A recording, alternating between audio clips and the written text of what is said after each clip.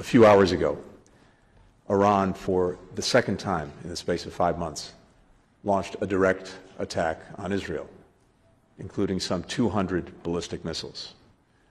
This is totally unacceptable, and the entire world should condemn it. Uh, initial reports suggest that Israel, with the active support of the United States and other partners, effectively defeated this attack. We have demonstrated once again our commitment to Israel's defense.